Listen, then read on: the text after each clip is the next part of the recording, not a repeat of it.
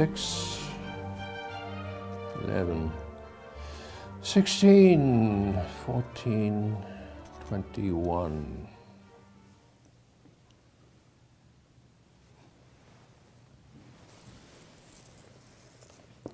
Marley was dead to begin with. This must be distinctly understood, or nothing wonderful can come of the story I'm going to relate. Scrooge knew he was dead.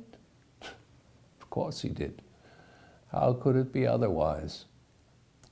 The register of his burial was signed by the clergyman, the clerk, and Scrooge.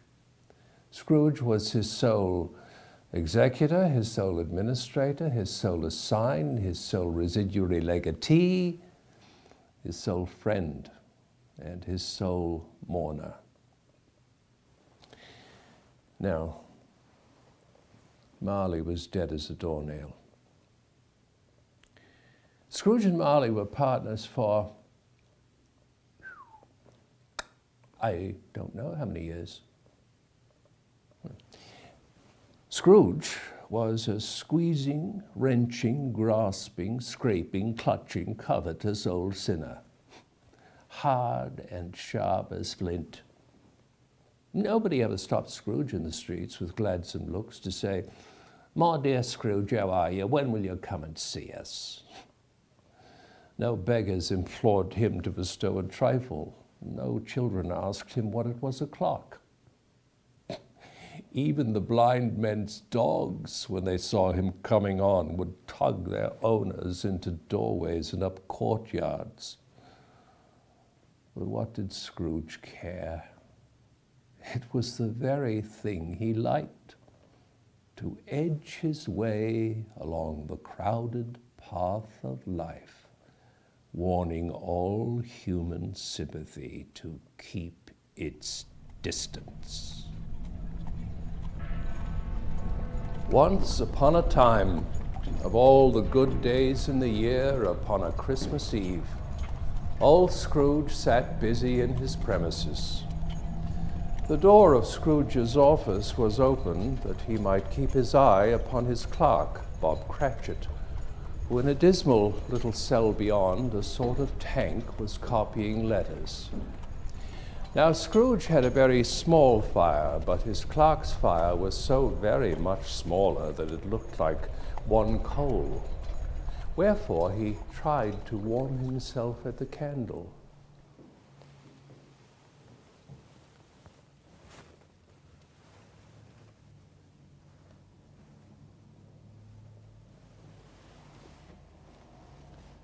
In which effort not being a man of strong imagination, he failed.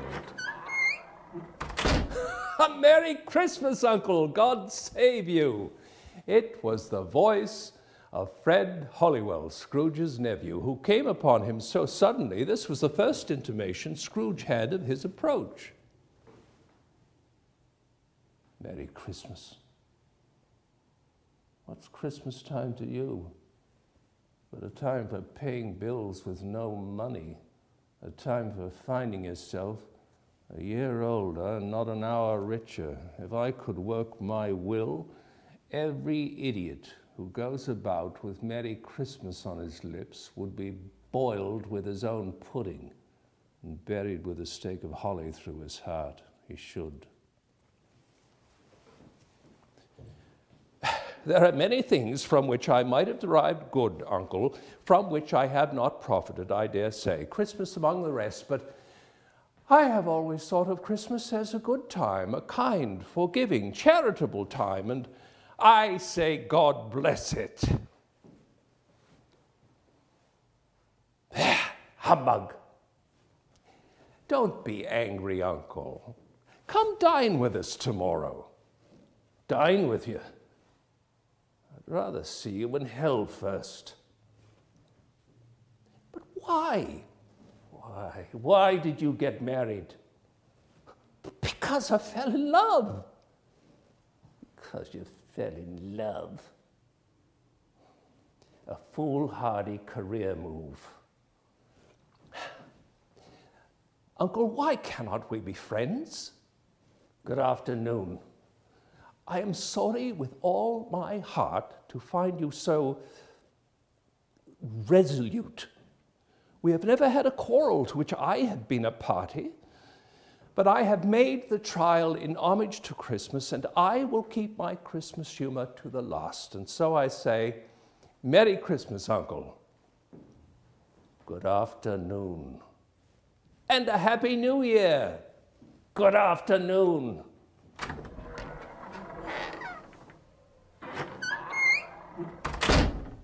Letting Scrooge's nephew out, his clerk had let two other people in.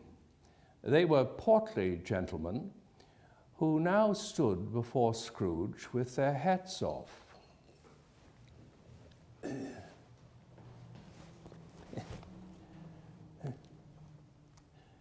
Uh, Scrooge and Marley's, I believe. Um, have either pleasure of addressing Mr. Scrooge or Mr. Marley?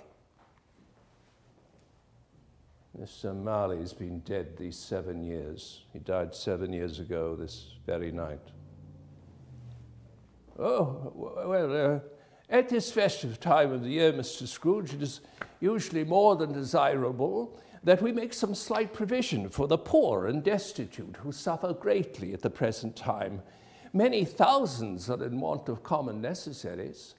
Hundreds of thousands are in want of common comforts, sir.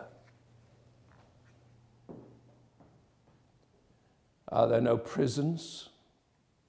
The union workhouses, the treadmill, are they still in operation? yes, sir, they are. Oh, good. I thought from what you were saying that something must have happened to stop them in their useful operation. yes, but uh, they scarcely provide Christian cheer of mind or body to the unoffending multitudes, Mr. Scrooge. Uh, now, uh, what should I put you down for? Nothing. Uh, you wish to be anonymous. I wish to be left alone, gentlemen, uh, since you ask me what I wish. Look, I, I help to support the prisons the workhouses, uh, the treadmill, and so forth, uh, they cost me enough. Those who are badly off must go there. Many cannot go there, Mr. Scrooge, and many would rather die. Then, if they would rather die, they'd better do it and decrease the surplus population. Now, I bid you good day, gentlemen.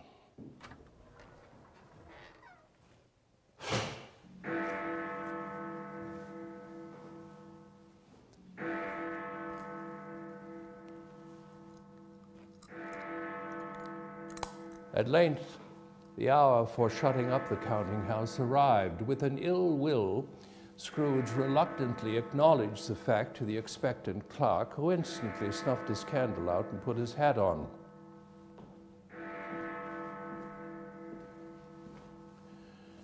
You'll be wanting the whole day tomorrow, I suppose. If quite convenient, sir. It's not convenient and it's not fair. If I were to stop half a crown for it, you'd think yourself mightily ill used, I'll be bound. yes, sir. Mm. And yet, you don't think me ill used when I pay a day's wage for no work. It's only once a year, sir. Uh, a poor excuse for picking a man's pocket every 25th of December but I suppose you must have the whole day. Be here all the earlier the next morning. The clerk promised that he would, and Scrooge walked out with a growl. Hmm. Fifteen shillings a week, a wife and family, and he talks of a Merry Christmas. I'll retire to Bedlam.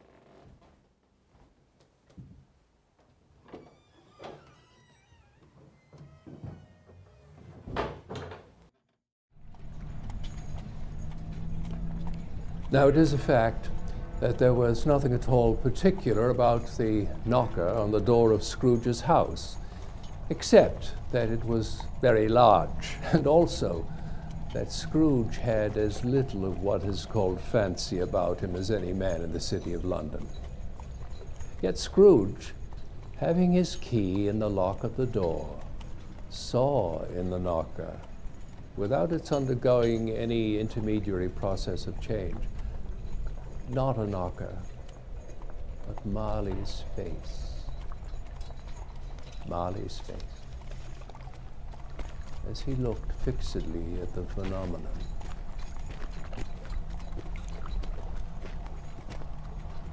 It was a knocker again. Scrooge said, Bah! and closed the door with a bang.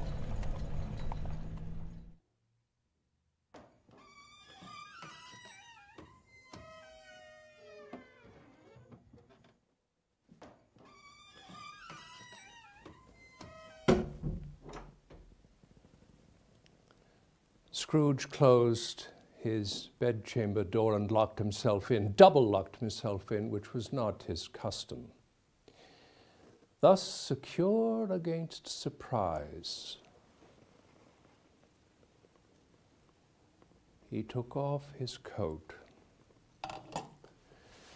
and put on his dressing gown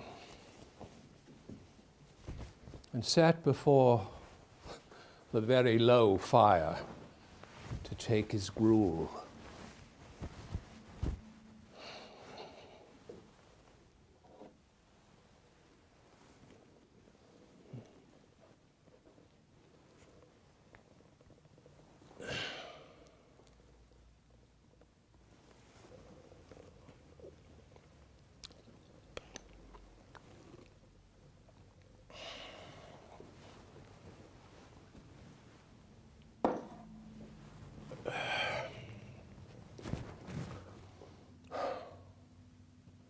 Throwing his head back in the chair, Scrooge's glance happened to rest upon a bell that hung in the room and communicated, for some purpose now forgotten, with a chamber in the highest story of the building.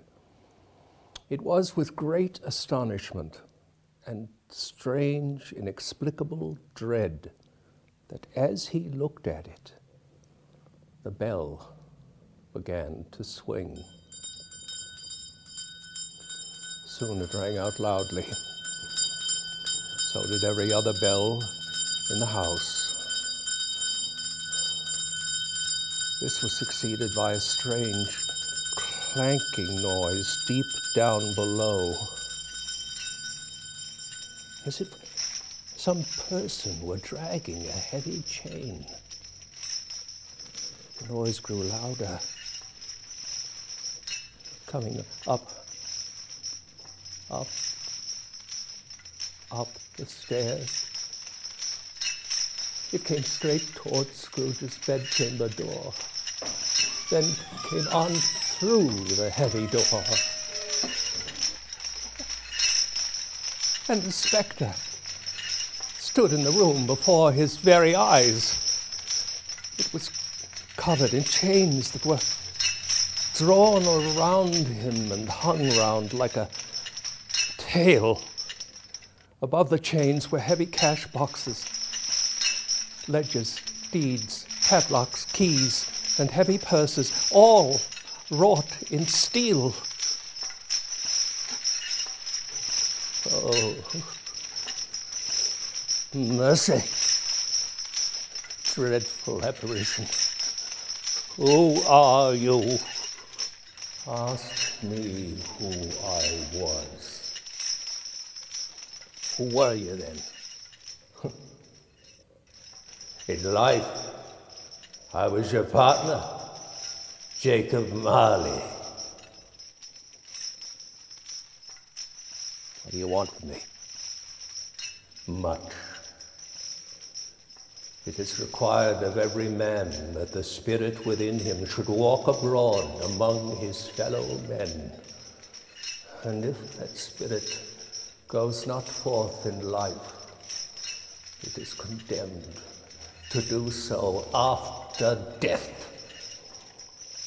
doomed to wander the world witnessing what it might have shared but cannot share in terms of happiness.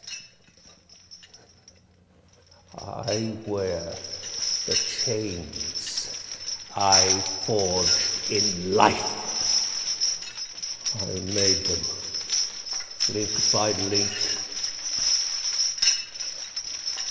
and yard by yard. I made them, Ebenezer. Do you know the heavy chain you bear yourself? It was as full and long and heavy as this seven Christmas Eves ago. And made sins. Oh, it is a ponderous chain. I am here tonight to warn you that you yet have a chance and a hope of escaping my fate. the chance and hope of my procuring Ebenezer. You were always a good friend to me, Jacob. You will be visited by three spirits. Is that the chance and hope you mentioned, Jacob? I think I'd rather not. No, no, no, no, no, no. Without their visits, you cannot hope to shun the path I tread. Jacob, speak comfort to me. I have none to give. Expect the first tomorrow night when the bell tolls one, and look to see me no more. And look that you remember what has passed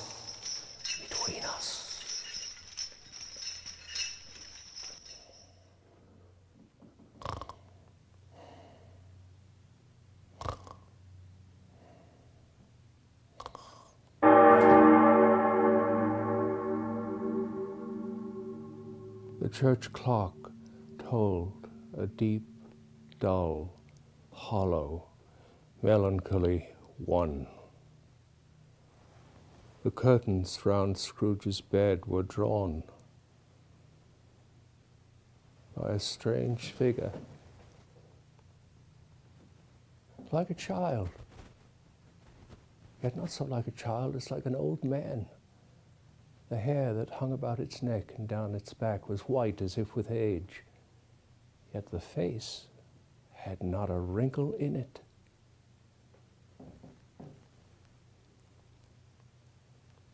Are you the spirit, sir, whose coming was foretold to me? I am.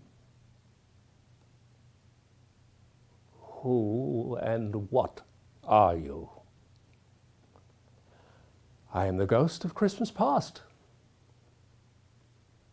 Long past? No, your past.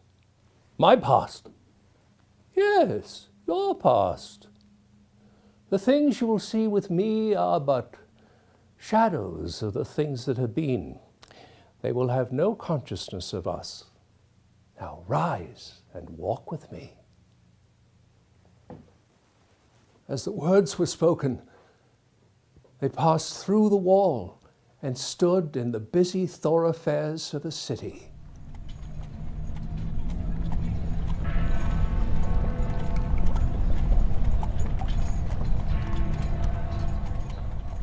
It was made plain enough by the dressing of the shops that here too it was Christmas time.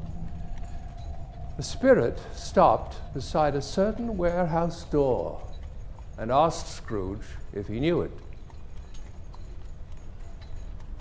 Know it. I was apprenticed here. Why, it's old Fezziwig. old Fezziwig, bless his heart. Fezziwig alive again. Uh, old Fezziwig laid down his pen and looked up at the clock, which pointed to the hour of seven. Then he called out in a comfortable, oily, rich, fat, jovial voice Yo ho there! Yo ho, my boys! Dick, Ebenezer! Christmas Eve, Dick, Christmas Ebenezer! Put up the shutters before a man can say Jack Robinson. No more work tonight. And then there were dances and forfeits, and there was a great piece of cold roast and a great piece of cold boiled. There was negus, mince pies, cake, and plenty of beer. But the great effect of the evening came when the fiddler struck up Sir Roger de Coverley and old Fezziwig danced with Mrs. Fezziwig.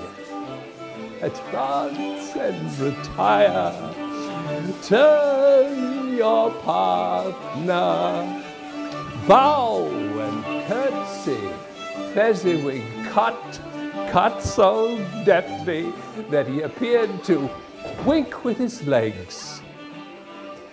When the clock struck 11, this domestic ball ended, and everyone left, thanking the Fezziwigs again, again, and again.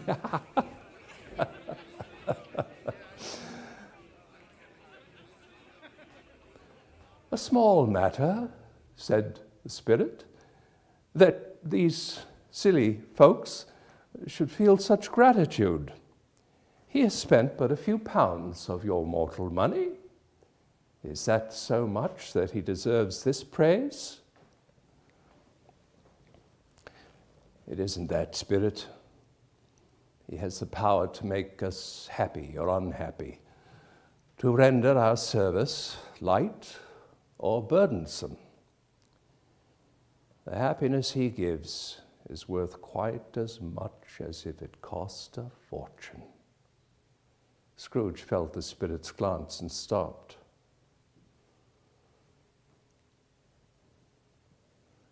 My time grows short. This was not addressed to Scrooge, nor to anyone whom he could see, but it had an immediate effect. For again he saw himself. He was older now, a man in the prime of life, and he sat by the side of a fair young girl in a black dress in whose eyes there were tears.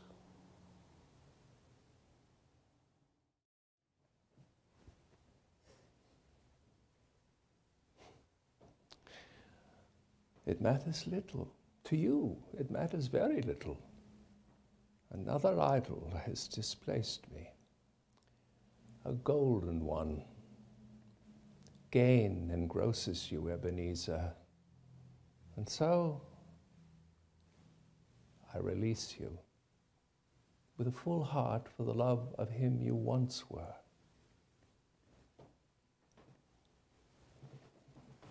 Spirit, remove me from this place.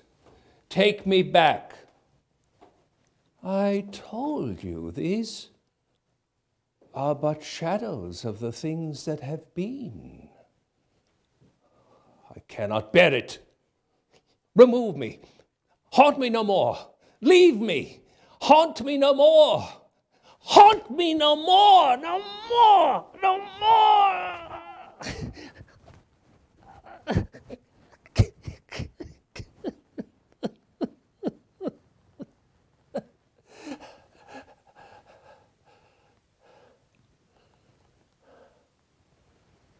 Scrooge was conscious in his struggle with the spirit of being exhausted and overcome by an irresistible drowsiness. He had barely time to reel to bed before he sank into a heavy sleep.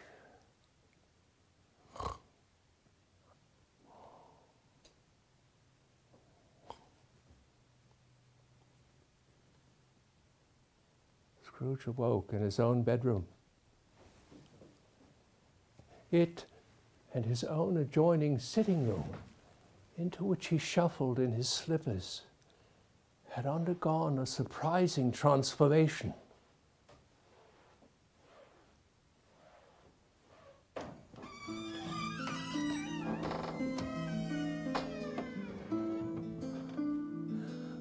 The walls and ceiling were so hung with living green mistletoe and holly that it looked a perfect grove, and such a mighty blaze went roaring up the chimney as the hearth had never known in Scrooge's time. Upon the floor were heaped to form a kind of throne turkeys, geese, ducklings, long wreaths of sausages, barrels of oysters, joints of meat, suckling pigs, plum puddings, rosy cheeked apples, juicy oranges, and steaming, steaming bowls of punch. In easy state upon this couch sat a giant, glorious to see, who bore a torch not unlike Plenty's horn, and he held it high to cast its light on Scrooge as he came peeping round the door.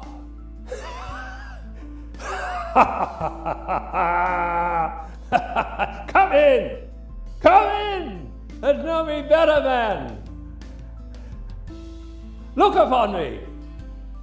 I am the ghost of Christmas present you have never seen the like of me before.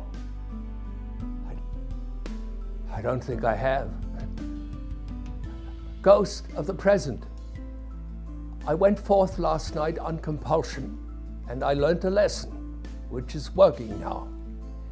Tonight, if you have aught to teach me, let me profit by it. Touch my robe. Scrooge did as he was told and held it fast. And together, he and the spirit passed on invisible straight to Scrooge's clerk's house. And in came little Bob, with at least three feet of comforter hanging down before him, exclusive of the fringe, and Tiny Tim upon his shoulder who bore a little crutch and had his legs supported by an iron frame. And how did little Tim behave today? asked Mrs. Cratchit. as good as gold, better. Somehow he gets thoughtful, sitting by himself so much, and he says the strangest things. Coming home, he told me that he hoped the people in the church saw him, for it might be pleasant to them upon Christmas Day to remember who made the lame to walk and blind men see. then Bob proposed a toast to the whole family. A Merry Christmas to us all, my dears. God bless us. God bless us, everyone, said Tiny Tim, the last of all. Scrooge asked the spirit if Tiny Tim would live.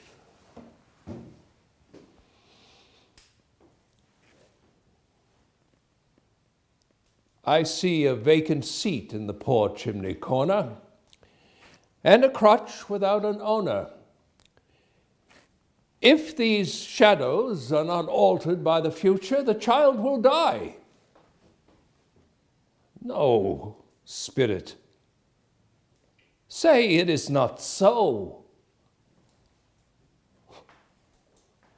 If he be like to die, he'd better do it and decrease the surplus population.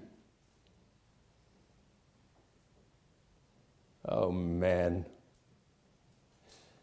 If man in heart you be, forbear that wicked cant until you know what the surplus is and who it is for in the eyes of heaven, it well may be that you are seen as less fit to live than millions like the child of this poor man. Mr. Scrooge. Scrooge raised his head speedily upon hearing his own name. I give you Mr. Scrooge, the founder of the feast. Founder of the feast, indeed. I'd like to have him here. I'd give him a piece of my mind to feast upon. And I hope he'd have an appetite for it, said Mrs. Cratchit. My dear, Christmas Day, the children. It should be Christmas Day, on which we drink the health of such an odious, hard, stingy, unfeeling man as Mr. Scrooge. Oh, you know he is, Robert. You, of all people, poor fellow. My dear, was Bob's soft reply.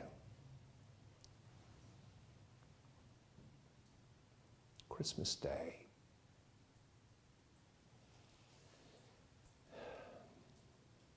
I'll drink his health for your sake in the days, but not for his. Merry Christmas. Happy New Year. Long life to him. He'll be very merry and very happy, I have no doubt. It was a great surprise to Scrooge as this scene vanished to hear a hearty laugh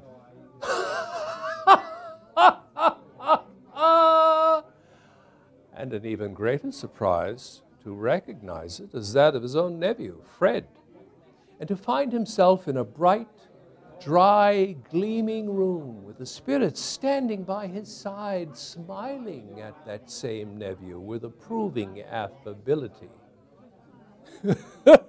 and he said, Christmas is a humbug. Upon my life. then he takes it into his head to dislike us and he won't come and dine with us. What's the consequence? Uh, he doesn't lose much of a dinner. Indeed, said Scrooge's niece, I think he loses a very good dinner. And everybody had to agree. It must be allowed that they were competent judges, as they had just ate dinner. What do you say, Topper? Topper, who clearly had his eye on one of Scrooge's niece's sisters, said, Oh, oh, oh well, uh, a bachelor is a wretched outcast. does not deserve to have an opinion on the subject. Whereat Scrooge's niece's sister, the plump one in the lace tucker, blushed.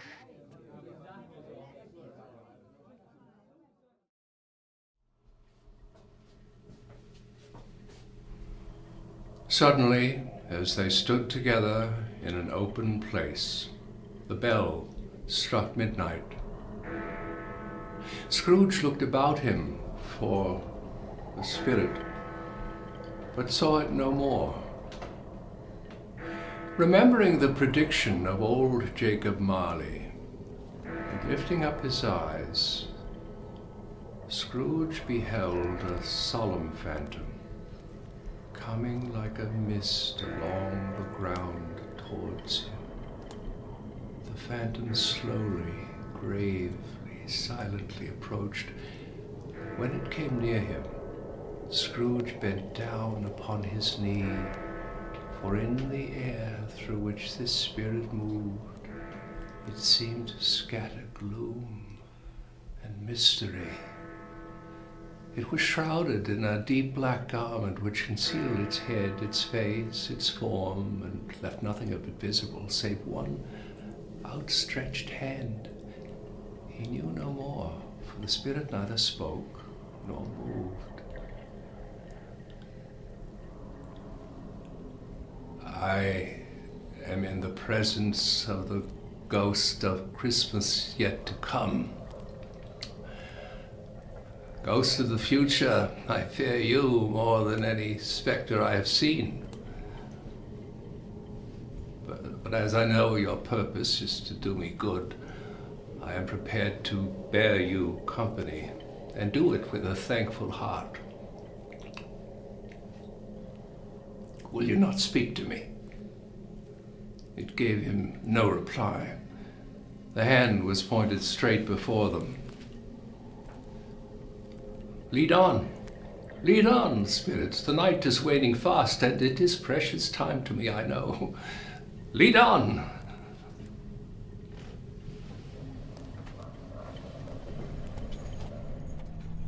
They scarcely seemed to enter the city, for the city rather seemed to spring up about them, but there they were, in the heart of it, on the exchange amongst the merchants.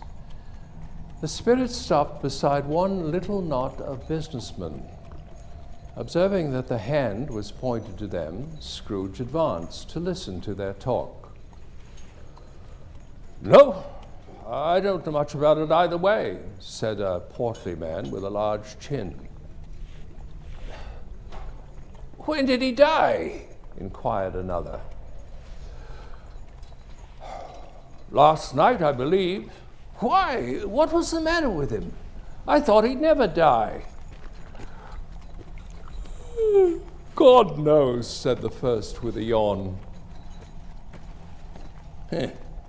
so, old Scratch has finally got his own at last, eh?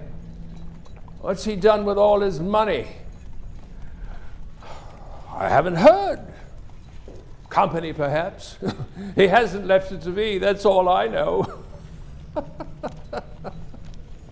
Scrooge was inclined to be surprised that the spirit should attach importance to conversation apparently so trivial. But feeling that it must have some hidden purpose, he set himself to consider what it was likely to be. It could scarcely be supposed to have any bearing on the death of Jacob, for that was past. This ghost's province was the future. He looked about in that very place for his own image. But another man stood in his accustomed corner, and though the clock pointed to his usual time of day for being there, he saw no likeness of himself among the multitudes that poured in through the porch It gave him little surprise, however, for he had been revolving in his mind a change of life. And he thought, he hoped, he saw his newborn resolutions carried out in this. Spirit, I see the case of this unhappy man might be my own. My life tends that way now. Oh. Oh. Merciful heavens. What is this?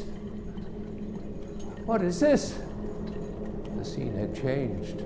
Now he almost touched a bare, uncurtained bed. And on that bed, unwept, uncared for, unloved, lay the body of this plundered man unknown, with covered face. Oh. Oh. oh, Spirit, this is a fearful place. Spirit, show me some tenderness connected with a death, Spirit, or, or this dark chamber will be forever present to me.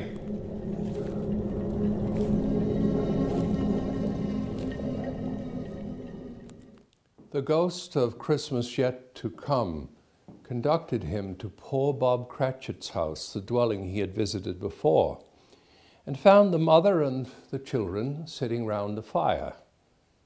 Quiet, very quiet. The noisy little Cratchits were as still as statues and sat in one corner, looking up at Peter, who had a book before him. The mother and her daughters were engaged in needlework, but surely they were very quiet.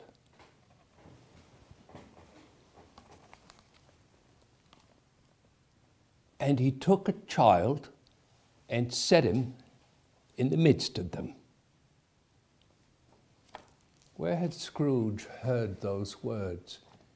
He had not dreamed them the boy must have read them out as he and the Spirit crossed the threshold, but why did he not go on? The mother laid her work upon the table and put a hand up to her face.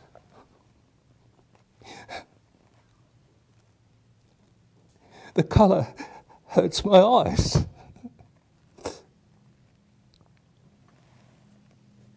The colour? Ah, poor tiny Tim.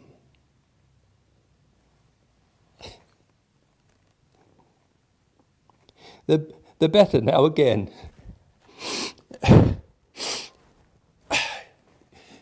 It makes him weak by candlelight, and I wouldn't show weak eyes to your father when he comes home for the world. It must be near his time. Past it, rather, said Peter, shutting up his book. But I think he, he, he's walked a little slower than he used these past few evenings, Mother. Yes. Yes, I suppose. Oh, there's your father at the door. She hurried out to meet him, and in came little Bob in his comforter. He had need of it, poor fellow. His tea was ready for him on the hob, and they all tried who should help him to it most. The two younger Cratchits got upon his knees and laid each child a little cheek against his face, as if to say, Don't mind it, father. Don't be grieved. Bob was very cheerful with them and spoke pleasantly to the whole family. He looked at the work upon the table and praised the industry and speed of Mrs. Cratchit and the girls. He said they would be done long before Sunday. Sunday? You went today then, Robert? Yes, yes, my dear, I went. I wish you could have gone. It would have done you good to see how green a place it is. But you'll see it often. I promised him that we would walk there on a Sunday.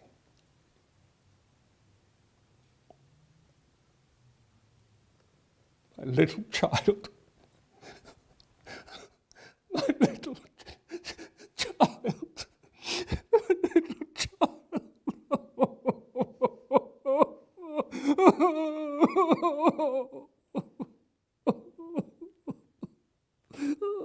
child.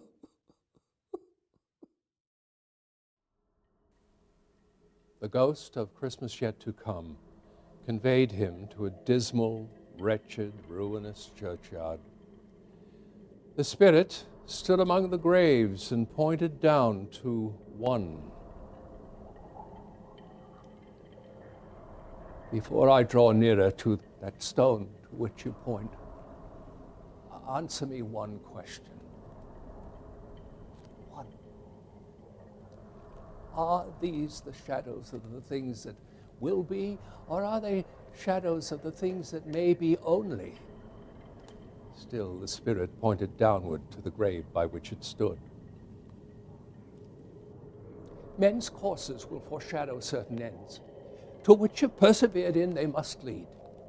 But if the courses be departed from, the ends must change.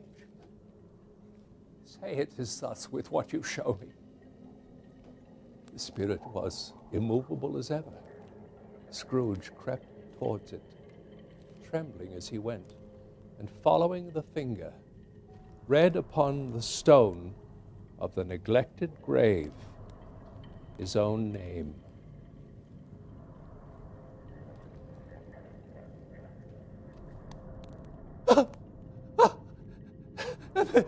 he's screwed. No, no, Spirit, no. Please, hear me. I am not the man I was. I will not be the man I must have been but for this intercourse. Why show me this if I am past all hope? Tell me that I yet may change the shadows of the things you have shown me by an altered life. For the first time, the hand faltered. I, I will honor Christmas in my and try to keep it all through the year. I will live in the past, the present, and the future. The spirits of all three shall strive within me. I will not shut out the lessons that they teach. Oh, tell me I may sponge away the writing on this stone. Holding up his hands, in one final prayer to have his fate reverse. Scrooge saw an alteration in the spirit's hood and dress. It shrunk, collapsed, and dwindled down into a bedpost.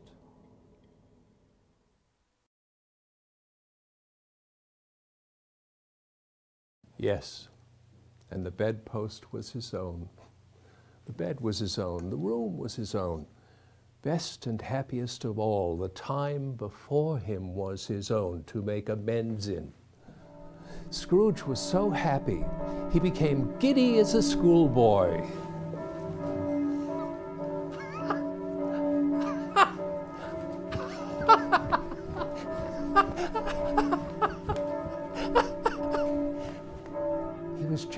Transports by the church bells ringing out the lustiest peals he had ever heard. Rushing to the window, he opened it and put out his head. No mist, no fog, no night. Clear, bright, stirring, golden day. Boy! Boy! Cried Scrooge, calling downward to a boy in Sunday clothes who perhaps had loitered in to look about him. Eh? What's today? Today? Why, it's Christmas Day. It's Christmas Day. I haven't missed it. The spirits have done it all in one night. They can do anything they like, of course they can. Hello, my fine fellow. Hello. Do you know the poulterers in the next street but one I should hope I did. Intelligent boy, remarkable boy. Do you know whether they've sold the prize turkey that was hanging up there? Not the little prize turkey, the big one. What, once as big as me? Delightful boy, it's a pleasure to talk to him. Yes, my boy. It's hanging there now. It is, go and buy it. Walker! No, no, I, I'm in earnest. Come back. Go and buy it and tell him to bring it here that I may give them the direction where to take it. Come back with the man and I'll give you a shilling. Come back with him in less than five minutes and I'll give you a half a crown. the boy was off like a shot. I'll send it to Bob Cratchit's. He shan't know who sends it. It's twice the size of Tiny Tim. Joe Miller never made such a joke as sending it to Bob's will be.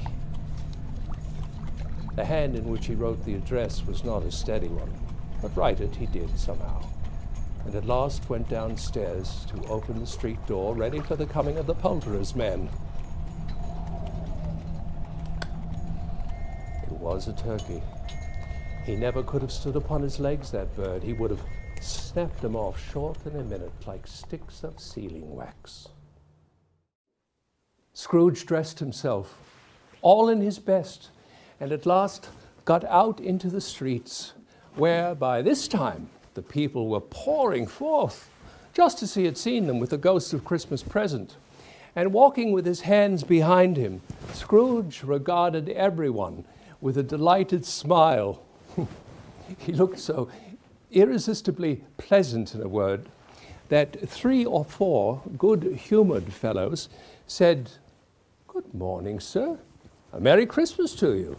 And Scrooge said often afterwards that of all the blithe sounds he had ever heard, those were the blithest in his ears. In the afternoon, he turned his steps towards his nephew's house.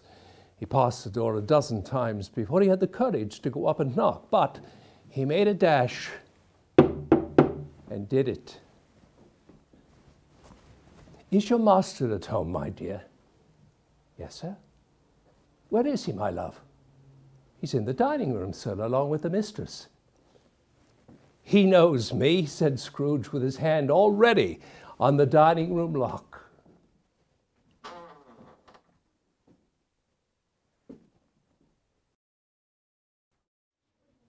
I'll go in here, my dear.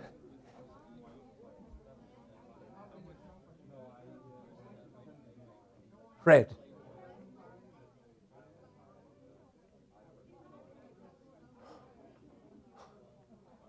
Why, bless my soul. Who's that? It's I, your uncle, Scrooge. I've come to dinner, Fred. Will you let me in? Let him in? It's a mercy he didn't shake his arm off. He was at home in five minutes. Nothing could be heartier. His niece looked just the same. So did Topper when he came. So did the plump sister when she came. So did everyone when they came. Wonderful party. Wonderful games. Wonderful unanimity. Wonderful happiness.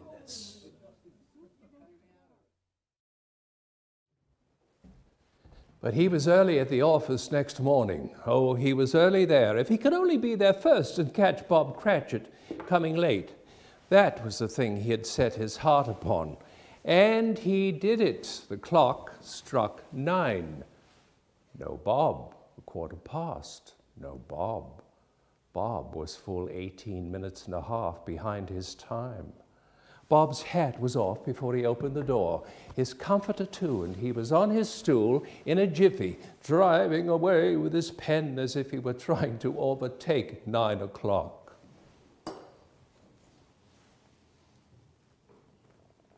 Hello, growled Scrooge in his accustomed voice, or as near as he could feign it. What do you mean by coming here at this time of the day?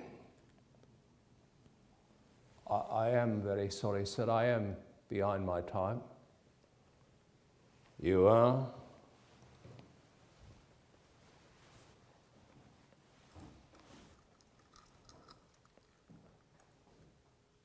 Yes.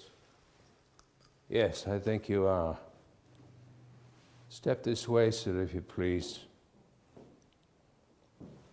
I am very sorry, Mr. Scrooge. I'm afraid I was making rather merry yesterday, sir. It's only once a year, sir. Now, I'll tell you what, my friend. I am not going to stand this sort of thing any longer. And therefore, Scrooge continued, leaping from his stool and giving Bob such a dig in his waistcoat that Bob staggered back into the tank again. And therefore, I am about to I am about to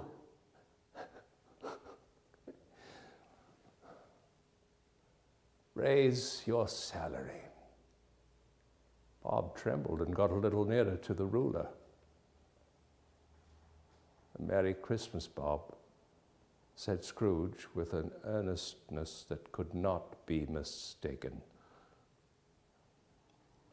A merrier Christmas, Bob, my good fellow, than I have given you for many a year. I will raise your salary, and I'll endeavor to assist your struggling family. And we'll discuss your affairs this very afternoon over a Christmas bowl of smoking bishop, Bob. now, make up the fires and buy a second coal scuttle before you dot another I, Bob Cratchit. Scrooge was better than his word. He did it all and infinitely more. And to Tiny Tim, who did not die, he was a second father. He became as good a friend, as good a master, as good a man as the good old city knew, or any other good old city, town, or borough in the good old world. Some people laughed to see the alteration in him, but his own heart laughed. And that was quite enough for him. He had no further intercourse with spirits, but in that respect lived upon the total abstinence principle ever afterwards. And it was always said of him that he knew how to keep Christmas well if any man alive possessed the knowledge. May that be truly said of us and all of us. And so, as Tiny Tim observed, God bless us everyone.